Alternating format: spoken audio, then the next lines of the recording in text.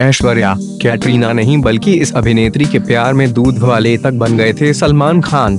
बॉलीवुड के दबंग खान यानी कि सलमान खान का नाम बॉलीवुड की कई हसीनाओं के साथ जोड़ा जा चुका है। जैसे कि संगीता बिजलानी, सोमी अली, कैटरीना कैफ, ऐश्वर्या राय बच्चन और ऐसे कई सारे नाम हैं जिनके साथ सलमान खान के अफेयर की खबरें खूब चर्चा का विषय बनी रही थी। लेकिन इनमें से किसी का भी नाम सलमान के साथ शादी के बंधन तक पहुँचने से पहले ही टूट जाता है और न ही अभी तक सलमान खान का कोई रिलेशनशिप अभी तक शादी के करीब तक आया है। लेकिन आज हम आपको बताने जा रहे हैं सलमान खान की एक ऐसी लव स्टोरी के बारे में जिसे शायद आप में से कोई नहीं जानता होगा।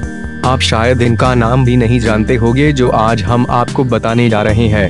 बता दें कि सलमान खान अभिनेत्री सईशा सहगल की माँ शाहीन जाफरी से शादी करना चाहते थे। सलमान खान को शाहीन जाफरी से प्यार हुआ तब सलमान खान की उम्र महज 19 साल थी।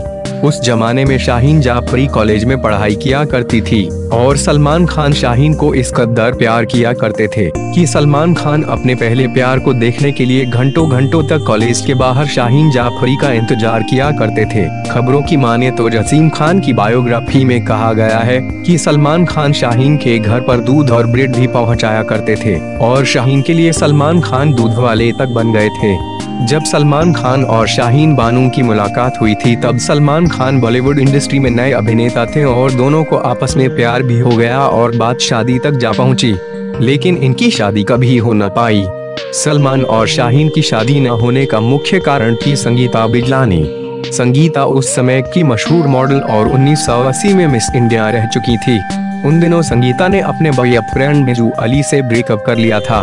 संगीता अक्सर होटल सी रॉक के उसी हेल्थ क्लब में नज़र आती थी। शाहीन जाफरी और सलमान खान का रिश्ता किसी भी अभिनेता से छिपा हुआ नहीं था, मगर तभी सलमान खान की ज़िंदगी में बॉलीवुड की सबसे खूबसूरत अभिनेत्री संगीता बिजलानी और सलमान खान की शाहीन से दूरियाँ बढ़ने लगी और इनका रिश्ता खत्म हो गया। हालाँकि बाद में सलमान का संगीता बिजलानी से भी ब्रेकअप हो गया।